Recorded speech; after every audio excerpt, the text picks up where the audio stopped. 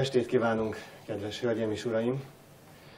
A ma este vendége Szalai Györgyi. Azt hiszem, hogy nem kell bemutatnom, hiszen már találkoztak is vele a, a törzs közönség tagjai. Ő Balázs Béla díjas filmrendezőnő, a Magyar Művészeti Akadémia tagja. Érdemes művész. Érdemes művész. Köszönöm szépen. És az ő munkássága hát végigkíséri, átítatja, komplex módon mm, beletartozik organikusan a Budapesti Iskola mozgalmába, vagy filmcsoportjába, tehát nem véletlen, hogy most már harmadik alkalommal találkozunk itt a, a Budapesti Iskolás filmek válogatás sorozatán. És a ma esti filmje az, az mégsem ebben a, a ebben a, a kollektív film szellemében határozódik meg, mégsem feltétlenül a, a csoportmunkában jegyezhető, hanem a, a saját rendezése, és ez azért is hangsúlyos, mert innen egy, egy új forma is indul. E a dédelgetett kedvenceinktől, vagy egy olyan motivumrendszer, vagy olyan, olyan, te, olyan, olyan módszer, ami, ami később megtalálható aztán a Dáda Istvánnal közösen rendezett munkákban, gondolunk itt a dokumentátorra például. Tehát első, első sorban azt szeretném kérdezni itt a bevezetőben, hogy, hogy ennek a filmnek az ötlete, ennek a, ennek a alkotói folyamatnak a állomásairól, hogyha hallanánk, hogy hogyan is kezdődött. Hát furcsa módon a, a főiskolai felvételi filmektől kezdve mindent közösen csináltunk a Dárdaival. Van egy-két film, egy-két dokumentumfilm, amit ő külön jegyez. Nekem is van egy-két olyan filmem, amit külön. És akkor ő ragaszkodott hozzá, hogy, hogy én csináljak én külön egy személybe egy játékfilmet. Hát most én nem vártam ilyen fajta bizonyításra, hogy én egyedül is tudok egy filmet csinálni, vagy nem tudom én mi, hát, és természetesen úgyis ott volt ő a forgatás alatt, de akkor végül is azt vállaltam, és azért végül is van egy felelősség. Tehát amikor közösen csinálunk filmet, akkor a felelősség megoszlik, uh-huh. de mhm. ha egyedül jegyez valaki egy filmet, akkor végül is a felelősség és a döntések azok az övéi. És volt egy, egy másik szempont, hogy bennem megvolt a készség arra, hogy beszéltünk már arról, hogy, hogy formailag kéne egy kicsit megújulnunk, tehát az ortodox dokumentarista játékfilmhez képest keresni valami új formát, és akkor végül is azt hiszem, hogy ez, ez az a film, amiben sikerült egy, egy más utat megpróbálni. És hát azt hiszem, hogy, hogy amiben gondolkoztunk, meg én gondolkoztam, az elég szerves folyamat, mert a, a jutalomutazás után csináltam a az egyedi eset természetrajzát, ami a jutalomutazás eredeti szereplőivel készült dokumentumfilm volt, és lesz majd itt, a, a, itt vetítve. Igen, és a, az a film is egy korosztályt célzott meg. Tehát a, a 14 éveseket, hogy a, a 8 osztályt még elvégzik a gyerekek, és aztán, hogy, hogy milyen sorsuk lehet. És e, tulajdonképpen ez a film is kifejezetten ezt a vonalat célozza meg, hogy akkor hát szembesítve persze más lehetőségekkel, de lényegében, hogy egy kis faluba ö, ö, éppen elvégzik a nyolcadik osztályt, és mi lesz a sorsa azoknak a gyerekeknek. Kérdeznék még akkor a, a konkrét, konkrét munkáról, hogy hallottam, hogy nagyon sok probléma volt ezzel, en, itt a, a forgatáson ezzel a filmmel, vagy a filmforgatással. Hát ez nem tudok más mondani, hogy olyan, mint ez valahogy ilyen Isten verte film volt. 10 fok volt júliusban, augusztusban. állandóan azt lestük, hogy mikor lehet a gyerekeket a tóba beengedni. A Tiszaparton voltál sátortából, ahol laktak, még nem is állították fel egészen, és elvitte az árvíz. Hát is egy, egy csomó apróság, de a lényeg az volt, hogy miután ezek mind nyolcadikat végzett gyerekek voltak, ezt augusztus 31-én be kellett fejezni ezt a filmet. Mert minden gyerek ment vagy dolgozni, vagy iskolába, vagy szóval egyszerűen kész az úgy, úgy meg volt szabva. Azon kívül a, a filmgyár főmérnöke kitalálta, hogy egy milyen nagyon jó kamerát tudnak csinálni, hát remek 16-os kamerákkal dolgoztunk addig, és akkor volt egy kísérleti kamera, ami nyilván egy ilyen üzleti szempontból az osztrákokkal együtt valamit csináltak, és az derült ki, hogy tízezer méter leforgatott anyag mind hibás volt. És azért nem jöttünk rá hamarabb, bár Pesten rá kellett volna jöjjenek a laboratóriumba, mert egy olyan moziba tudtunk nézni Munster, tehát leforgatott anyagot, amit Pestről visszaküldtek, ahol ö, ugyanaz a hibája volt az ősrégi vetítőgépnek, mint ami ennek a kamerának. Hm. Szektorhúzásnak nevezik, az azt jelenti, hogy ö, egy kockánál vetítés közben, illetve felvétel közben ne, nem állt meg a kockán a felvétel, hanem mindig egy picit tovább csúszott. És végre, mikor egyszer egy vetítőben láttuk, akkor a legszebbek a libák voltak, e, és az én hosszúra elnyúlt a nyakuk. Az, az volt a leglátványosabb probléma ezzel, tehát tízezer méternyi anyagot újra kellett forgatni. Úgyhogy nem volt egy, egy leányálom, és hát aztán utána az elfogadás se, de az már szokva voltunk, mert minden filmünk erről szeretnék, majd aztán említettem is, hogy Igen. szívesen írnék egy könyvet erről, hogy minden filmünk elfogadása körülbelül egy évig tartott. Hosszú húzavonák, és nem tudom, ez a stúdió szerint értelmiség ellenes volt, és szóval mindenféle bajok voltak vele. Értelmiség ellenes. Na akkor Erről még a film után beszélgetünk.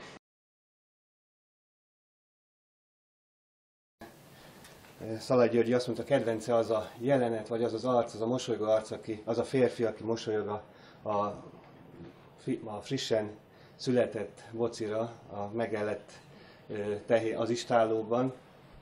És hát én azt kérdezném első körben, volt egy, volt egy, egy tabló a film elején, hogy egy kamera és puska, nyugat, vagy kelet és nyugat. Volt egy ilyen, egy ilyen plakát, hogy vajon ez a film akkor kamera vagy puska, társadalomkritika, vagy ténylegesen egy, egy, egy tényfeltáró, vagy ez hogy függ össze? Mi volt a, a szándék ezzel kapcsolatban, hogyha lehet egy ilyen summás kérdéssel kezdeni? Most én elnézést kérek, de én szívesebben hallgatnám meg, hogyha valakinek van kérdése vagy véleménye elmondani valója, és aztán majd a, a, a, a végén Igen. beszélnék én szívesebben. A filmben részben gyerekkorom is, tehát felidéződött egy falu, ami autentikus és pontos. Nekem ez volt a legnagyobb élmény, hogy újra tudtam élni ezt a világot, bár én Júri Szegérben nőttem fel, de ugye három évig Szilvásváradon e, e, találtam meg a lábam alatt a földet, tehát pici ott voltam, és ugyanezek az emléknyomok, ugyanezek a lassú történések és szerves történések, és nekem, eh, ahogy eh, Elemér említette, ezek a konfrontációk, ezek kulturális konfrontációk is voltak, és nekem a filmben ez a ez a, ezek a rétegzettség, sokszínűség nagyon tetszett. És különösen e, ez érződött azon a ponton, magával ragadott, amikor megjelentek a szerelmesek ott a szénakazalba, és ott felemelkedett, mintha Isten látná őket, és egy gyönyörű magyar tájat, világot láttunk, és ebbe aztán belerobbant a mentő. És egy ballada.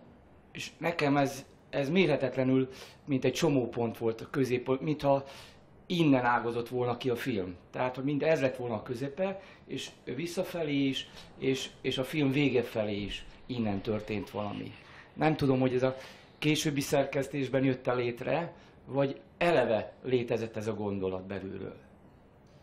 Hát én ennek nagyon örülök ennek a kérdésnek, mert ez, ez eleve létezett. Tulajdonképpen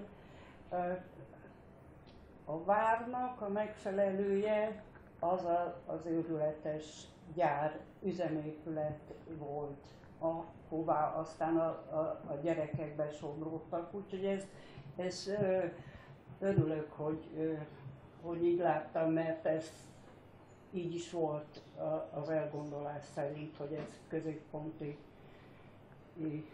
helye van. És akkor hát itt megint a kontrasztnak a, az eszköze, hogy akkor a, milyen tájba, mi, uh, milyen arcok és milyen sorsok vannak. Igen, mert itt egy létküzdelem folyik a lenti szinteken, ugye a gyerekek életéért, tehát úgy egy társadalom elrabolja őket, elviszi őket, 18 évesen egy meghal, tehát itt észre sem veszünk, de áldozatok történnek. És a másik sík, az pedig az Isten küzd ezekért az emberekért, tehát én, a vár lerajzolásának szándéka. És ez, ennek a megjelenése, ez volt nekem az a szakrális ami a filmet felemelte. De, de ez önmagában nem lett volna vonzó pont, hogy csak a képzőművészeti láncra fűzzük fel, hanem mivel belül volt egy valami, tehát egy harmadik szem, egy kiemelkedő szem, ami több, több, lett, több volt, mintha a várból tekintettem. Én innentől kezdtem olvasni a filmet, és innen más a jelentése. Én ezt a filmet még nem látom, de nem hiszem, hogy túl sokan látták. Mert hogy el volt rejtve. Én Igen, ugye... nem volt meg a, a, a kópia egy jó darabig, és hát végül is a... Vidéken meg egyáltalán nem. Hát ahogy amilyen a filmeknek a sorsa, az is egy, egy nagy történet, hogy milyen a, a filmeknek a sorsa. Annó és, és most is. Szóval, és az az érdekes, hogy aki látta ezt a filmet, annak meg azért érdekes, ilyen visszhang volt, hogy, hogy mi akkor benne éltünk abba a 70-es években. És most meg van egy rálátás, és hogy, ö, hogy annak döbbenetes a hatása, hogy milyen világ volt az. Hát erről a világról is lehetne egy döbbenetes filmet csinálni. Szerintem lassan ideje is lenne, mert végül is ez a film többek között nem csak egyedül ez, végül is ez az egész sorozat, ami, ami itt megy, ez szerintem nagyon fontos, mert e, olyan, mint egy, e, egy történelmi lecke. És a, e, pontosan azon a síkon, e, ahol nem nagyon igyekeznek megragadni a hétköznapi síkon.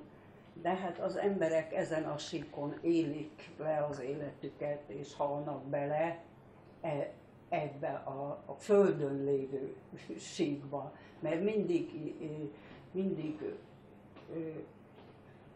a politika irányából, és nem tudom én honnan, szociológia felől, és nem tudom, hogy közelítik meg, csak az embereknek a, az élete végülis arról van szó, és hát arról nincs szó igazából. És én ezt nagyon fontos erényének tartom ennek az egész budapesti iskola és a, a többi régebben készült dokumentumfilmnek, és én én aztán nem én akarok beszélni, csak még egyet mondanék, hogy, hogy számomra is meglepő élmény, hogy ezek a filmek abszolút nem öregek.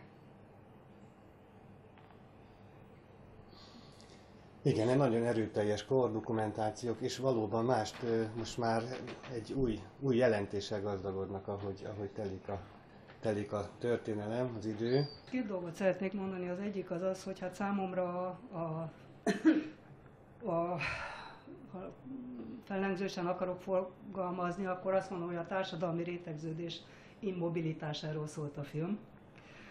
Ha meg normálisan, akkor meg azt mondom, hogy a ö, értelmiségi szülők gyereke az értelmiségi lesz, aki meg ö, nyomorba születik, az 15 éves korában nyomorba hal meg. Nagyjából ezzel foglalnám össze, a, és reménytelen számára a kitörés.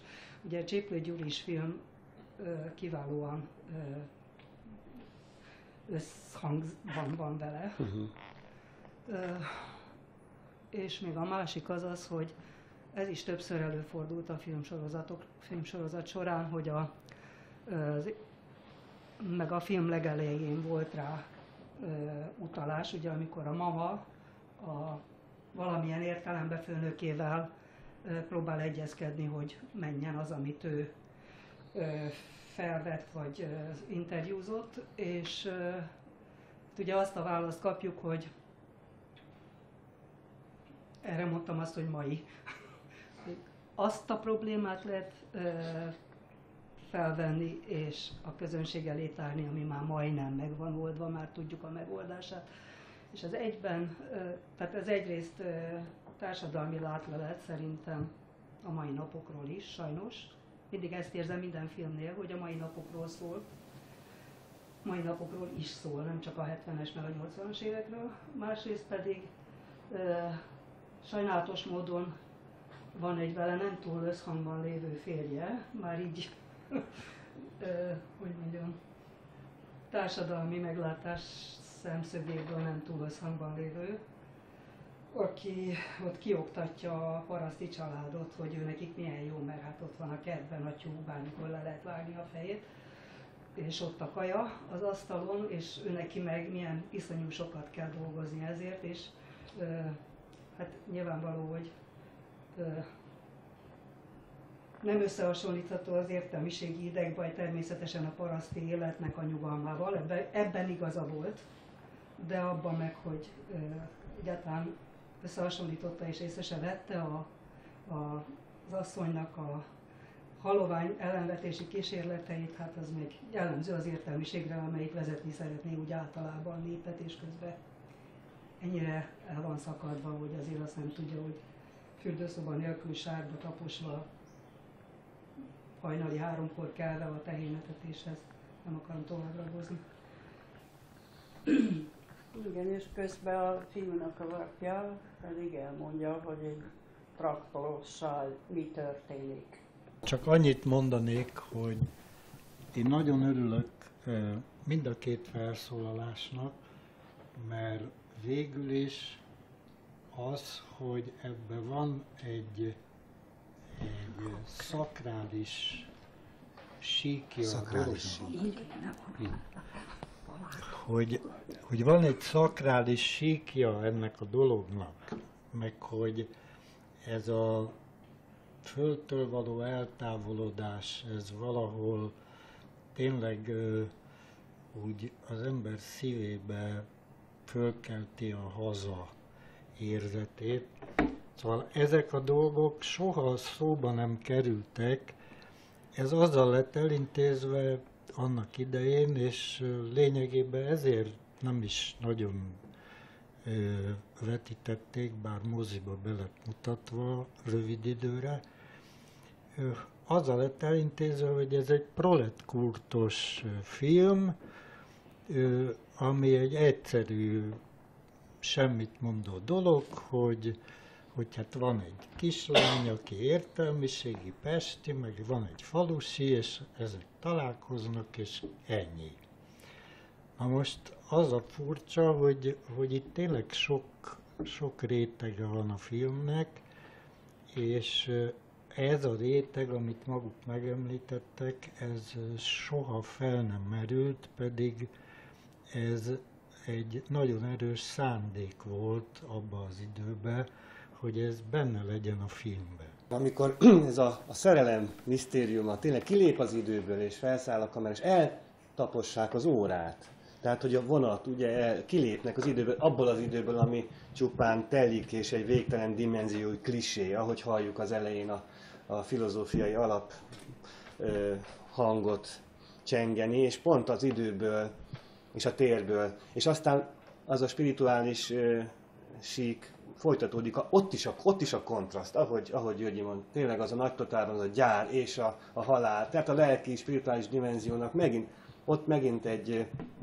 az árnyoldala is. Tehát, hogy még az is formailag, vagy hogy mondjam, gondolatilag, asszociatív háló szerint, tehát így keretbe fogja sok, sok kapcsolatot, ami, ami ezt, ezt sűrű filmé teszi. Azt gondolom, hogy nagyon sűrű, sűrű ez a film, tehát nagyon sok ö, kapcsolat van. Dáda Istvánt hallottuk, aki szerepel a filmben egy, egy fénykép erejéig a Györgyivel. A, a, a nyomtató, nyomtató jelenetben. Nem van-e kérdés a közönség soraiban? Én azt szeretném mondani, hogy, hogy én vidéken éltem, én egy fél éve élek Budapesten, és én ennek a filmnek minden képkockáját megéltem. Hmm. Szóval kezdve a poci születésétől a, a, a lakod, az én lakodalmam az ilyen volt például. Az, az más kérdés, hogy nem sikerült, de szóval köszönöm. Nagyon tetszett. Csak ennyit akartam, köszönöm. Nekem még valami nagyon fontos, a nyelv. Mert hogy ez a film ö, olyan értelemben konzervál, hogy nagyon pontosan megőrizte a nyelvi rétegeket. Tehát a film azért ezért ö, élő múzeum, tehát ezt muta- mutatni kellene mai fiataloknak is, hogy mit vesztettünk el, mert hogy ennek a vidékiségnek ö, rendkívüli ízei voltak. Megvolt a hierarchiája is ki, hogy beszél, és megvolt a, a, a nyelven belül tisztelet. Tehát jó, lehetett látni, hogy a pestiek elvesztették e, ezt a kontaktust az élő nyelvvel. Tehát, hogy hogy szóltak, milyen lekezelően, nem engedték a, kom, a kommunikációt működni. Viszont ideátról, tehát, hogy a falu világában a csendek, illetve a, a beszédnek a ritmusai és mélységei sokkal erősebbek voltak. Ezért volt az, hogy a kislány odafigyelt és bűvölve hallgatta egy tragikus történetet, hogy a gerince tönkrement. Tehát én ezt a filmnek ö, ö, nagyon csodálatos dolognak tartom, hogy ezt sikerült rögzíteni. Élő formában, akkor a lakodalomnak, tehát azokat a élő történéseknek a nyelvezetét sikerült rögzíteni, és ez szerintem egy dokumentumfilmben, dokumentumfilmben kulcskérdés, hogy hogy dra- beavatkozunk dramaturgszerűen, megtervezünk klisé, klisészerű szövegeket, vagy engedjük működni. Szerintem ez történt, és ez varázslata volt a filmnek. Köszönöm. Mennyire, mennyire dokumentumfilm? Hogy, hogy lehetne ezt ö, mondani? Mert egész, tehát ö, játékfilmes benyomást kelt, de, még, de mégis lebontja a hagyományos dramaturgiát, tehát másként működik. Hogyan, mennyire volt a, a szereplő választásban, mennyire volt dialógus kitalálva, erről szeretnék kérdezni. Mennyi, hogy hogy lehet, hogy a kulisszák mögé kérdezik most. Hát ö, a, ö, abból a szempontból, vagy ebből a szempontból úgy készült, mint a többi dokumentarista Mhm. játékfilm, vagy legalábbis a, a mi filmjeink, hogy, hogy mindig csak egy, egy keret volt megadva a szereplők számára. Tehát a döntő mozzanat az a szereplők kiválasztása volt, hogy tudjuk, hogy kitől kaphatjuk vissza azt, amit mi szeretnénk mondani, de általa. És ö, ez mindig egy keret volt megadva. És utána ott pedig szabadon a saját a saját módjukon, a saját szókincsükkel, a, a saját világlátásukkal és mindennel, tehát ö, megkapták azt a szabadságot egy kereten belül, ami miatt, ami miatt dokumentumszerűnek hat. Uh-huh, uh-huh. Egyébként azt gond, tehát a, a, a film elején beszéltünk a formajújtásokról, de nagyon sok hagyományos, hogy mondjam csak, tehát eh, nagyon sok olyan motivum van, ami mondjuk a jutalomutazásban is, fel, jutalomutazásban is feltűnik, a vízparti gitározás, a, az úttörő tematika, a, a trombita, tehát sok minden, sok minden, de más, hogy működik itt. Tehát, hogy egy, mint hogy, tehát itt nem a, az intézményes keretek vannak úgymond meg azok is megkérdőjelezve, vagy, vagy ez, egy, ez egy nagy egész társadalomkritika felé mozog, véleményem szerint, de mégis ahogy, tehát a hétköznapi embernek a, a mély világa és az egész társadalomnak az nagyon sok dimenziója felcsillan ebben a filmben számomra. Tehát van egyszer egy, egy vannak gyökerei, és vannak újításai ennek a, ennek a filmnek. Azt érzem, hogy ezt, ezt sorjázni lehetne. Igen. Ennek a fogadtatásánál a, a stúdió részéről az, az volt a, a fő vélemény, hogy ez egy értelmiség ellenes film. Értelmiség ellenes. Hm. Tehát úgy értékelték e, ezt a, a kontrasztot. Szóval kvázi majd, majdnem úgy értékelték, mint ahogy a tévés főnök uh-huh. értékelte a, a dolgot, szóval az nagyon hasonlított arra. És a, a másik pedig, az ilyen, azt hallomásból tudjuk, mert hát régen az volt a filmek elfogadásánál, hogy a, a gyártó stúdiónál volt egy elfogadási processzus, aztán utána volt egy filmfőigazgatóság, és utána még pártközpont is volt. Szóval kemény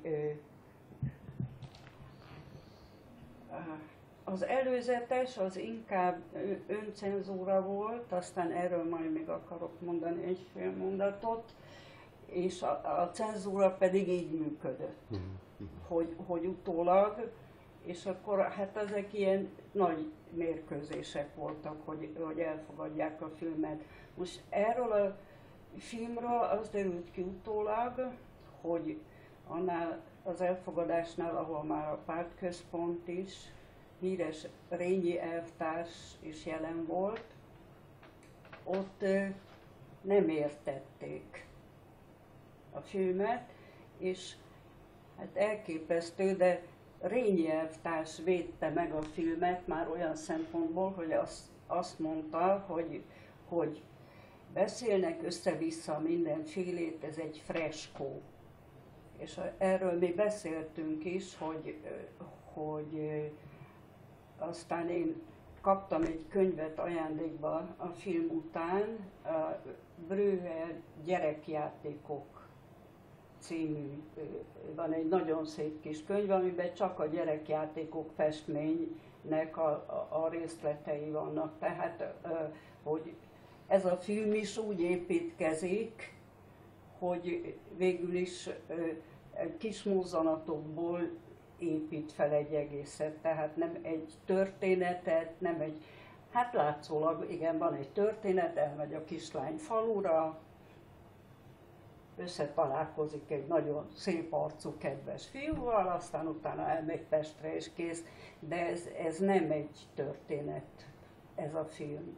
Egyet akartam még mondani, hogy ö, most én nagyon örülök, hogy hogy van ez a sorozat, és akkor vetítik a filmeket, és hát igyekszem megnézni a filmeket, és véletlenül pont most volt két napja a televízióba. Éjjel fél tizenkettőkor a Nyugattól Keletre című filmünk, ami egyébként egy vígjáték, és amiben olyan szereplők vannak, akikkel nyugodtan lehetett volna megreklámozni, mert a, a Szabó Győző első filmszerepe, akkor a Szőke András, meg a Badár játszik benne, a Zséda első megjelenése, ott énekel egy dalt, na mindegy, ezt csak zárójelbe teszem hozzá, hogy ezt éjjel fél 12-kor kezdték vetíteni. Hát engem nagyon érdekelt, régen láttam a mi filmünket, és a, szóval én nekem megrázó élmény volt a, hogy a szabadság érzete sugárzott a filmből. Szóval én nem tudom, valahogy mi egy kicsit úgy elröpültünk a dolgok fölött, és, és mondom, ez, ez megcsapott engem, hogy, hogy milyen, uh-huh. ö, milyen szabadok voltunk. Uh-huh. És szerintem ez Ebből a, is. Igen, a filmekben uh-huh. ez, ez ott van. Szóval. Uh-huh. Hát ebből is tényleg legalábbis filmnyelvileg, a, a nyelvileg a szabadság sugárzik. Tehát a, a társadalmilag nem, de a nyelv az, az teljesen szabad és hagyományos formákat felrúgja, és nagyon sok, nagyon sok idézet, intertextuális megoldás van. Még a Brühel kép, talán nem az, de egy Brühel kép is megjelenik a filmben. Meg, megjelenik a, a kislány szobájának a falán, hogyha jól emlékszem, hogy ott ott, Igen. ott volt. Igen. Hatott-e erre a, a disznarratív struktúrára, tényleg a francia új hullám, új hullám Godárnak a, a stílusa, akár most konkrétan tényleg a képek, plakátok, feliratok megidézésé gondol, megidézésére gondolok, hogy ez...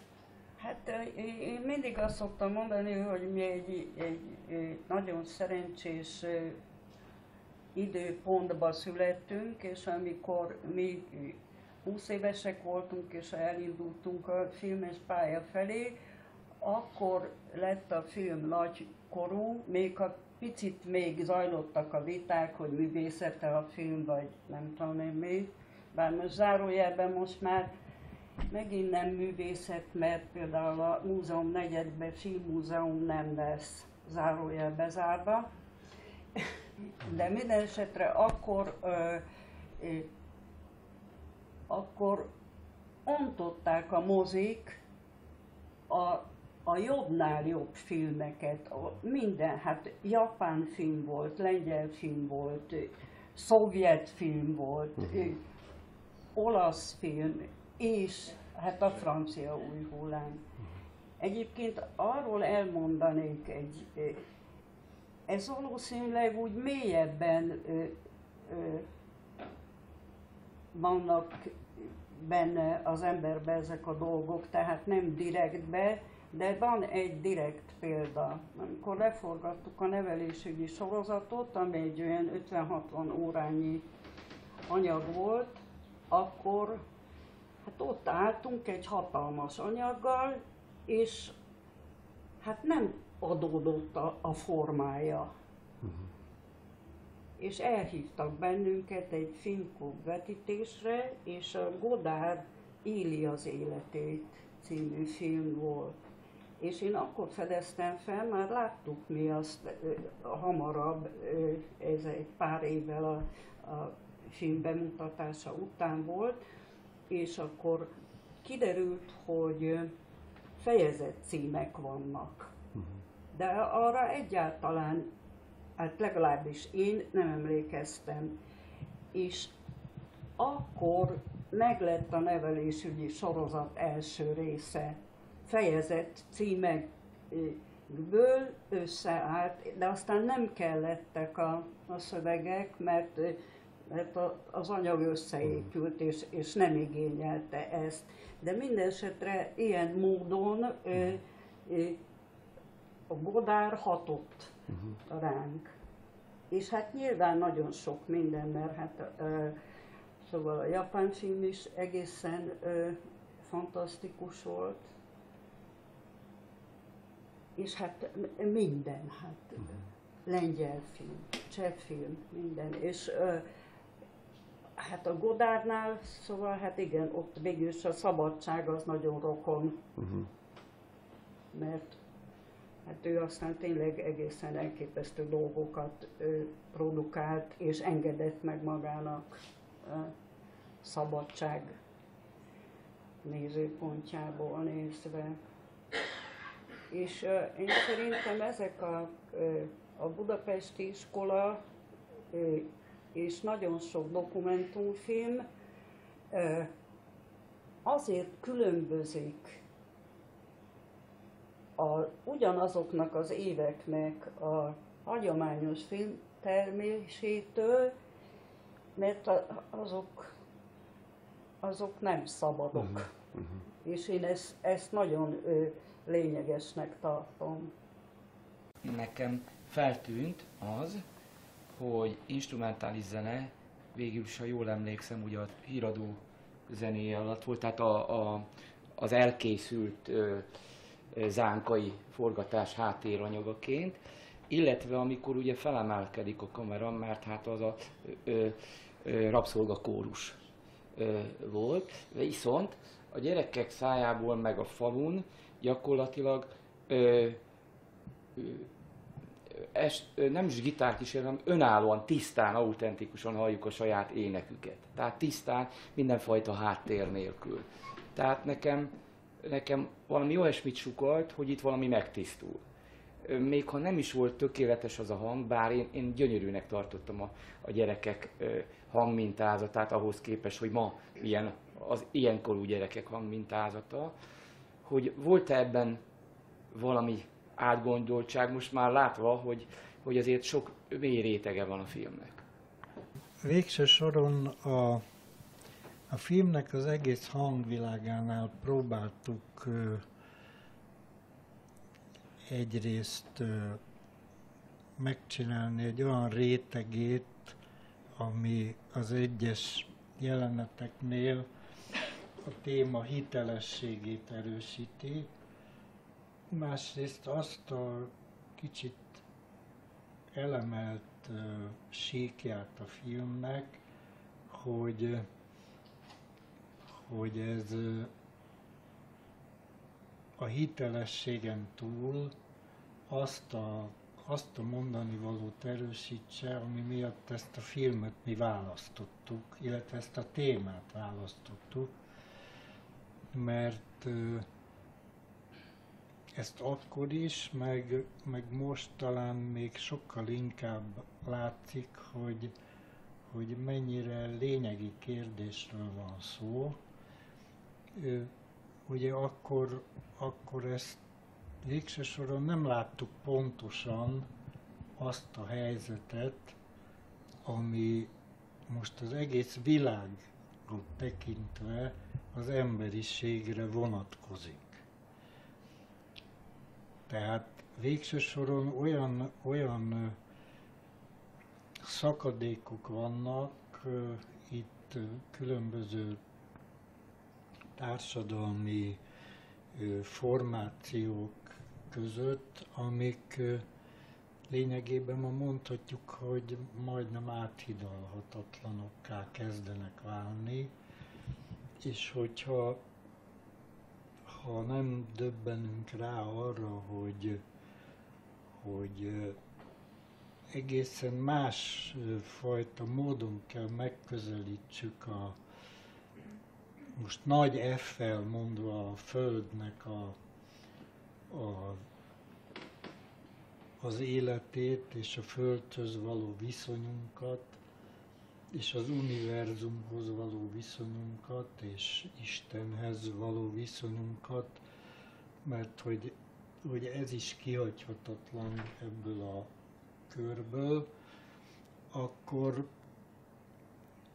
akkor lényegében egy olyan, olyan csőd helyzet felé haladunk, ami, ami talán már má, máma is a tudományosan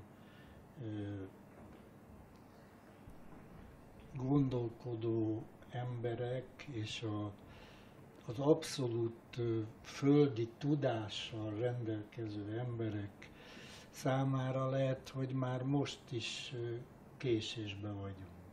Mert azt tudomásul kell vegyünk, hogy az égvilágon semmit nem tudunk.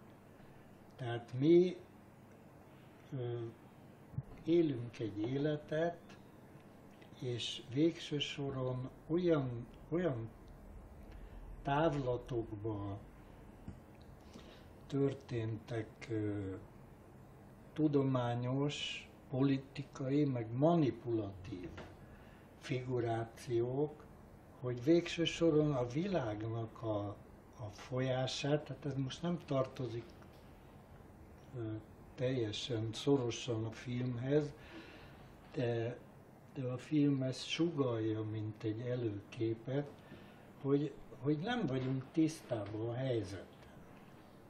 És részben, részben tudatosan eltitkolják előlünk, részben meg úgy épült föl a civilizáció, hogy, hogy mondjuk a művész világ és a tudományos világ egyáltalán nem, nem talált egymásra, és nagyon sok tekintetben óriási ellentét van a kettő között, és nem is csak hogy ellentét, hanem a tudásnak egy olyan, olyan ö, különböző formája jött létre, ami, ami a személyiség és a szubjektum ö, fejlődése kapcsán ö, nem úgy lenézi egyik a másikat, hanem nem, nincs meg a bizalom, nincs meg az összhang, nincs meg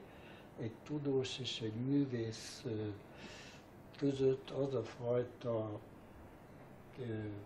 össze, összeolvadása a tudásuknak, amire szükség lenne. Na most ez persze így általánosítva azért nem igaz, mert nagyon, nagyon sok olyan nagy művész és nagy tudós van, akik egymás gondolatát inspirálva dolgoznak, de az egészre vonatkozóan ez igaz, és ehhez, ehhez párosul az a, az a hatalmi, politikai és, és anyagi fogyasztási gépezet, ami, ami egyszerűen a saját érdeke szempontjából megköveteli, hogy mi ne is legyünk okosak, ne is legyünk a tudás birtokába, hanem nekünk az a dolgunk, hogy, hogy a kis helyzetünkbe fogyasszunk annyit, amennyit csak tudunk. Semmi más. És hát végül is a, a szabadságról, hogyha beszélünk, mert itt a filmben hát eltérően a,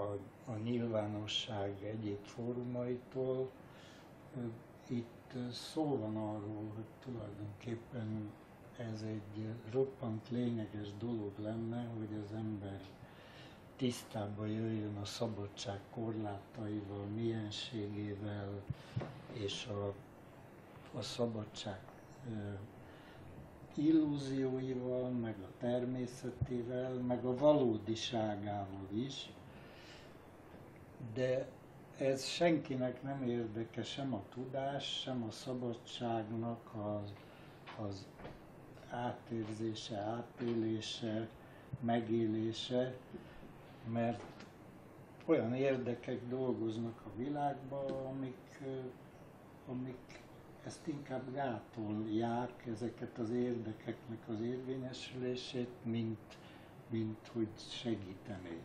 Nagyon sokféle tudásforma jelenik meg a filmben is valóban, csak a kérdés, hogy találkoznak-e? Találkoznak-e, tudnak-e összeolvadni sok a, a tradicionális tudás és a... De talán, talán van remény, mert ez a lány, én azt hiszem, hogy hát nem az iskolában, de ezen a nyáron sokat tanult megtudta, hogy hogy születik egy boci, vagy hogy kell lehányni a, ganajt, vagy trágyázni. Csomó minden. Én azt hiszem, hogy, hogy ha ő belőle, nem tudom, jó művész lesz később, akkor innen fog meríteni ebből a nyári élményből. Tudásformák találkozása. Hát itt a, a technikai kommunikáció is morális jelentőséget kap, és azt hiszem, hogy erre láttunk példát a ma esti filmünkben. Egy hajszál választott el minket, hogy a főszereplő kislány ne tudjon Pesten lenni, és eljönni a filmvetítésére. Egy, ö, egy nagyon magas szintű ö, valaki lett ebből a lányból, nem képzőművész, nem művész, hanem ö, tulajdonképpen egy elméleti szakember, aki konferenciákat rendez és egyebeket, és hát így e-mailen keresztül üdvözöl minket, meg mindenkit, aki ezen az estén itt van, és őt nézik, és hát nagyon sajnálja, hogy nem tudott mégse eljönni, mert majdnem sikerült neki, de két konferencia között nem tud ide repülni. Igen, mindesetre érdekes lett volna, hogy most 50 éves az Ósi, és én, én is nagyon kíváncsi lettem volna rá, hogy, hogy, hogy mi lett vele, és uh, hiába csak szerep volt, azért a tapasztalatokat, uh-huh. azokat mégiscsak megélte, uh-huh. mindegy, hogy milyen formában, és tényleg érdekes lett volna, hogy ez mhm. így, hogyan hatott rá, de ezek szerint lett belőle egy éppen ember. Uh-huh. Hát azt hiszem együtt összeraktuk mégiscsak ennek a filmnek a bűvös kockáját, és köszönjük szépen Szalai Györgynek, hogy itt volt velünk.